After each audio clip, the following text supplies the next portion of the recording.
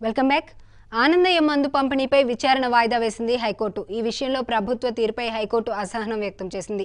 మందు పంపిణీపై ప్రభుత్వం ఎలాంటి ఉత్తర్వులు జారీ చేసిందని ప్రశ్నించిన హైకోర్టు నాలుగు రోజుల సమయం ఇచ్చిన ఉత్తర్వులను ఎందుకు కోర్టు ముందు ఉంచలేదని అడిగింది.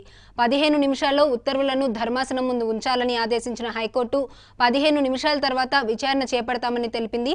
అయితే ఆల్కహాల్ మరియు సిగరెట్ ఆరోగ్యానికి హానికరమని తెలిసినా అమ్ముతున్నారన్న లాయర్ బాలాజీ మందుపై పంపిణీకి కేంద్ర వివరణ కావాలని అంటుంది. ఎలాంటి సైడ్ ఎఫెక్ట్ లేకుంటే మందు పంపిణీపై తమకు అభ్యంతరం లేదని కేంద్రం తరపు లాయర్ పేర్కొన్నారు.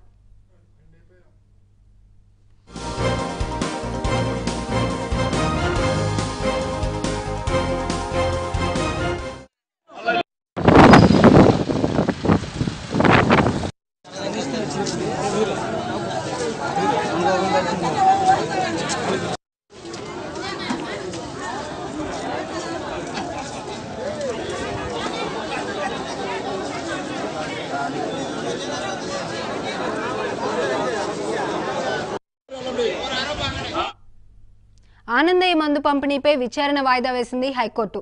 ఈ విషయంలో ప్రభుత్వ తీర్పై హైకోర్టు అసహనం వ్యక్తం చేసింది.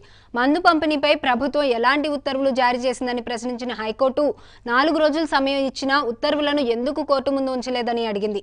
పదిహేను నిమిషాల్లో ఉత్తర్వులను ధర్మాసనం ముందు ఉంచాలని ఆదేశించిన హైకోర్టు పదిహేను నిమిషాల తర్వాత విచారణ చేపడతామని తెలిపింది. అయితే ఆల్కహాల్ మరియు సిగరెట్ ఆరోగ్యానికి హానికరమని తెలిసినా అమ్ముతున్నారన్న లాయర్ బాలాజీ మందుపై పంపిణీకి కేంద్ర వివరణ కావాలని అంటుంది. ఎలాంటి సైడ్ ఎఫెక్ట్ లేకుంటే మందు పంపిణీపై తమకు అభ్యంతరం లేదని కేంద్రం తరపు లాయర్ పేర్కొన్నారు.